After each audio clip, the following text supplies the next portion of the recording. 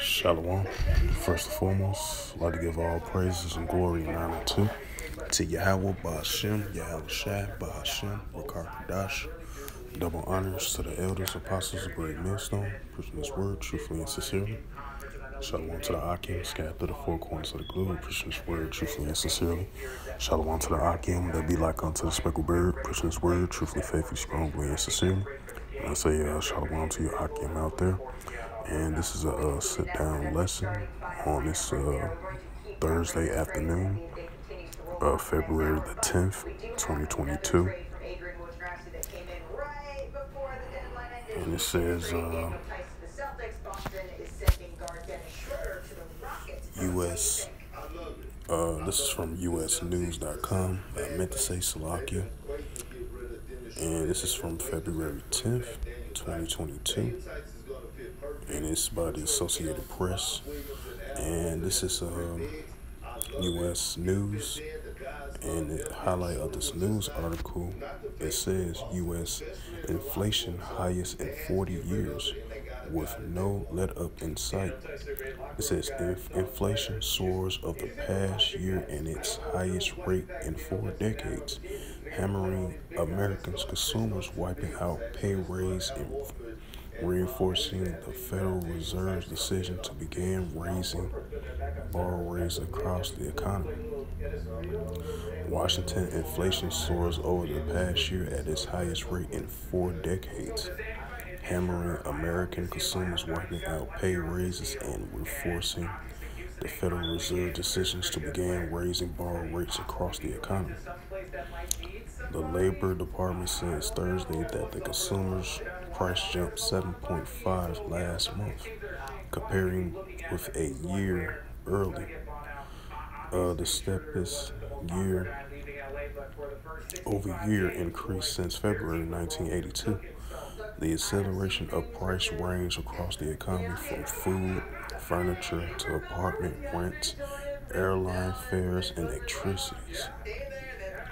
It says when measuring from December to January inflation of 0.6 percent and the same as the previous month more than economics has uh, expect price rose 0.7 from October to November 0.9 from September to October.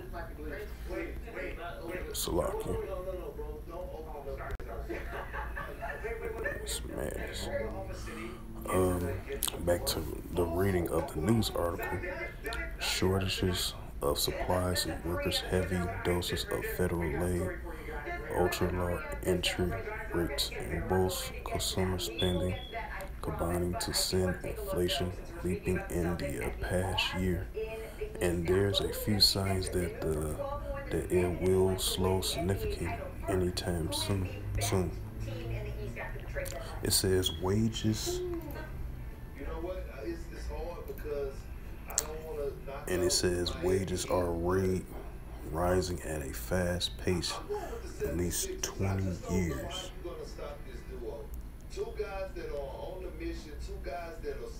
Which can pressure companies to raise prices to cover higher labor costs. Ports and warehouses are overwhelmed with hundreds of workers at the Port of Los Angeles and Long Beach. The nation's busiest out sick last month. Many products are part remain in short as a result. Prices for a broad range of goods and services accelerated from December to January, and not just for items directly affected by the pandemic. Apartment rent costs went up to cost rose up to 0.5 in January, the fast pace in 20 years. Electricity prices surged 4.2 in January alone, the sharpest raise in 15 years, and are up 10.7% from the year's early last month. Household, household furniture and supplies rose up 1.6 and largest one month increase on record dating to 1967. The food costs driven by pricer eggs, cereals, and daily products increased 0.9 in January, and airfares rose 2.3%. New car prices, which have jumped during the pandemic because of a shortage of computer chips, were unchanged last month, but are up 12.2 from a year ago. The surge in new car prices has in turn accelerated used car prices as they rose 1.5 in January and are up a dazzling 41% from a year ago. Just a price measure in some areas easing the flinches in, in other parts of the economy is picking up, Sarah said. An economist at Wells Fargo, an upshot that the inflation is likely to remain uncomfortably high. The steady, the steady raise in price has left many Americans less able to afford food, gas, rent, child care, and other necessities. necessities. More broad inflation has emerged the biggest risk factor for the economy as a serious threat to Joe Biden's and congressional Democratic midterm elections from later this year. Among Americans who are struggling with the pricing foods and gas is Courtney Lookley, who have changed her shopping habits and taking injection work shifts at a grocery store, Charlotte, North Carolina, where she lives. It says Luki 33 used to be able to fill up a grocery chart of a hundred dollars. Now she has a hundred dollars barely fill half of the cart. Wow. Yeah, that's true. Cause since the hyperinflation went up with the uh, everything in all those categories with the food and other prices going up as well too. So yeah, the, the cost of food is definitely had went up. Now she has a hundred dollars, barely half the cart. Tomatoes have reached a five dollars. Wow, five dollars a pound, which I think is ridiculous. Yeah, it is ridiculous. Lucas has switched to uh, Canaan.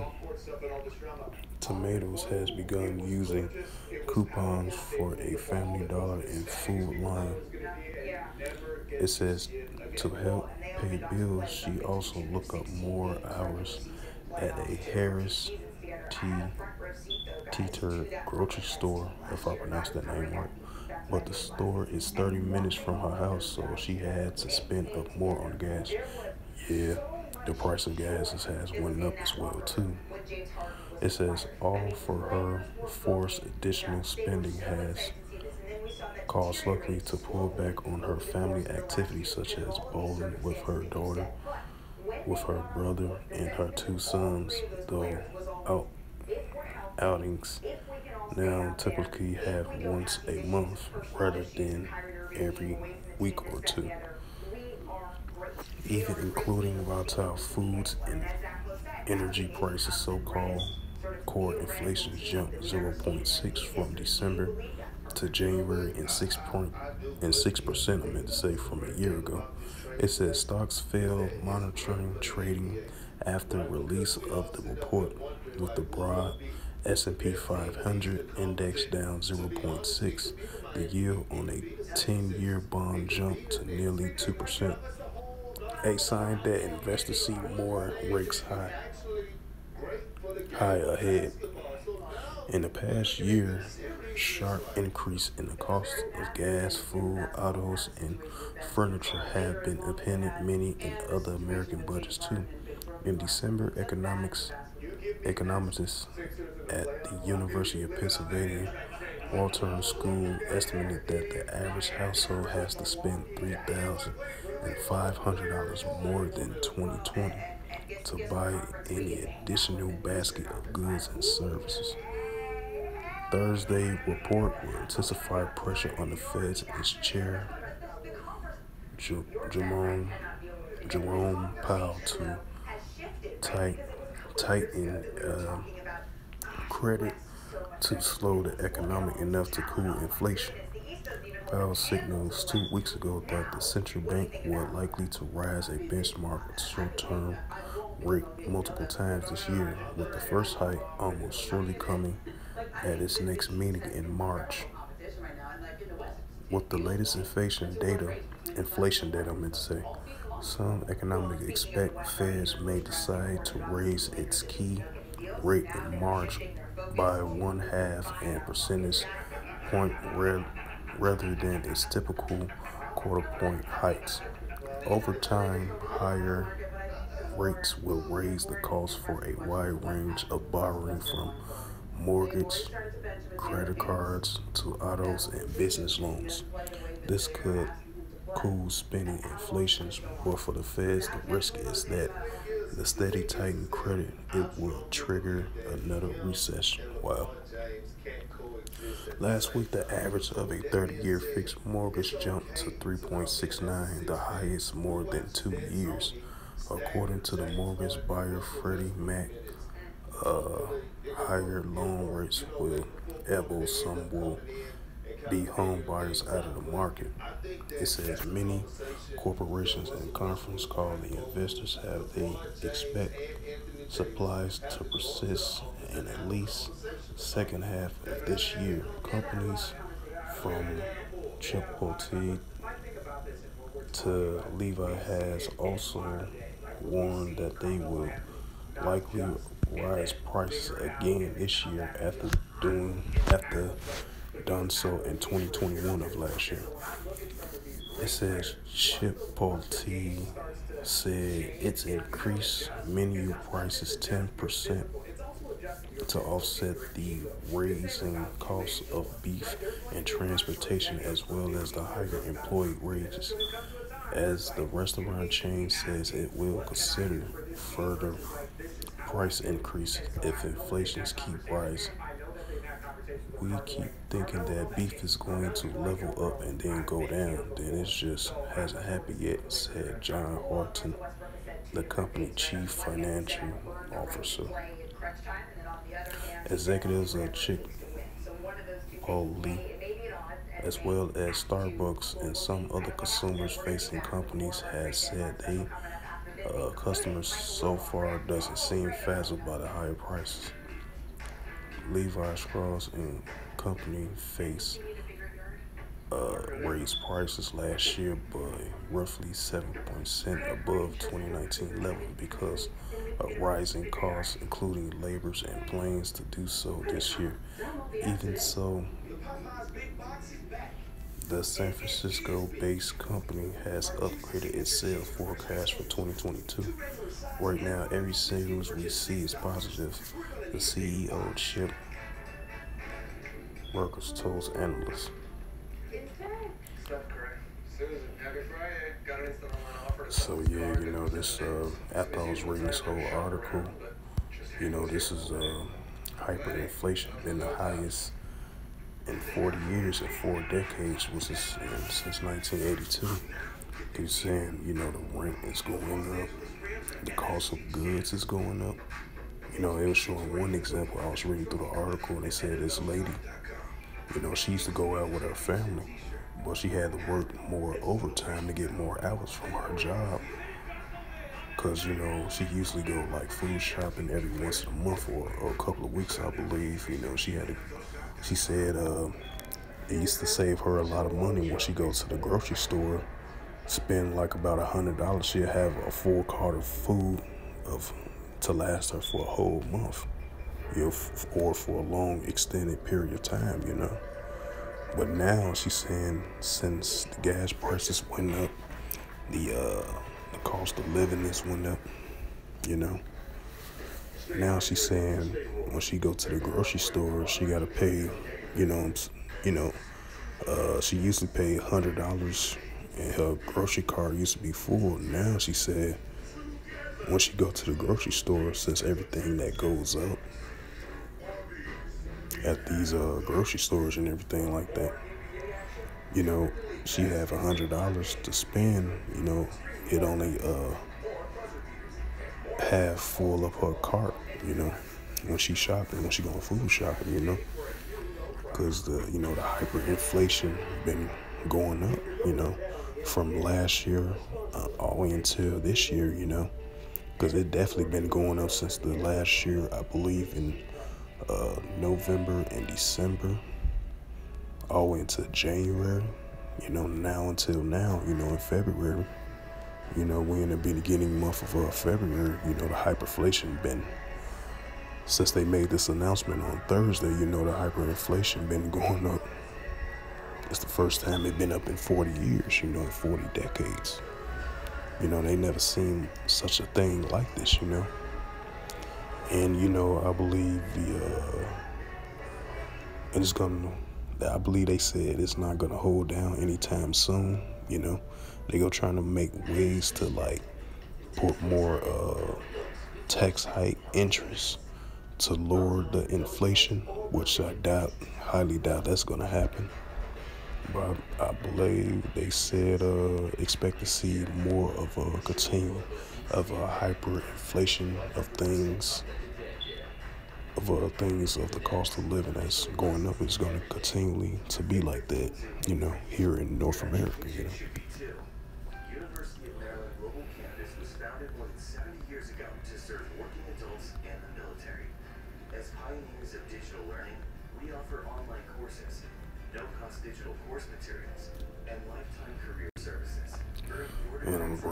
Scripture for that. This is the book of Revelation, chapter 18, verse 2. And he cried with a mighty scoring voice, saying, Babylon the Great is fallen. Babylon the Great is fallen. It's become a habitation of devils, and hold of every foul spirit and cage unclean and hateful bird, right? Because you know these are uh, showing signs of uh, the daughter of Babylon is falling. You know we seeing them right before our eyes. You know even if Joe Biden do come with this uh, Build Back America plan with the infrastructure and all that, you know trying to uh, fix the economy and create more jobs, all that, etc., etc. Equal opportunity for everybody, you know, equal rights and equal jobs and equal everything, you know. You know, it's still gonna, it's this place is still gonna uh, fall in many different categories with the division in the Book of Mark, uh, three and twenty-five. If a nation be divided itself, how can it stand? You know, from an economic standpoint from a division standpoint, the left versus the right, and many other categories as well too, you know. And expect continually the hyperinflation to increase, and this has been the highest increase in the last 40 years. I mean, yeah, last 40 years in four decades, you know. So yeah, you know, these are showing signs and indication of this place is falling continually in many different categories, you know. So with that, uh, that's all I wanted to bring out on this sit down lesson on this uh, February the 10th, 2022, on this uh, Tuesday afternoon. So yeah, you know, like I mentioned before, you know, Babylon is falling, and we're seeing signs of that, you know. And so with that. I'd like to give all praises and glory and double honors to to Yahweh, Ba'ashem, Yahweh Shai, Ba'ashem, Rakakadash.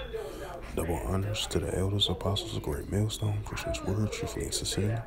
Shalom to the Akim, scattered through the four corners of the globe, his word truthfully and sincerely. And shalom to the Akim that be like unto the speckled bird, his word truthfully, faithfully, strongly, and sincerely. And until next time, I will say shalom. Oh, and before I close out this uh, sit down lesson, you know, it goes to show you that, you know, current state of uh, Babylon the Great, this place is currently falling. And I believe it was, uh, I seen on CNN News yesterday, uh, they, uh, I think they signed a, a closing gap of, uh, I think they closing gap, they signed a, a vote, avert a, a deal to continue the funding the government, which is a short term deal. So it won't be no uh, government shutdown. So you know that's that's short term. So that's another thing to keep an eye on as well too. You know, to see if both sides continue to like fund the government and fund the nation and all that, you know. But other than that, you know, that's just a sad note. But you know, it's showing signs of this place is continually falling from a political standpoint, from an economical standpoint, from a division standpoint between the nations, you know. And so with that, I would say shalom.